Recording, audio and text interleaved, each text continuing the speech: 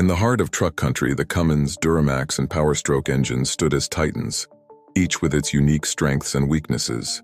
Cummins, revered for its unmatched torque and durability, conquered rugged terrains but faced criticism for its noisy operation and higher maintenance costs.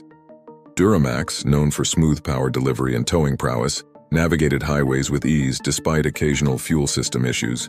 The Powerstroke, praised for its robust performance and fuel efficiency, powered through long hauls yet grappled with reliability concerns and higher initial cost.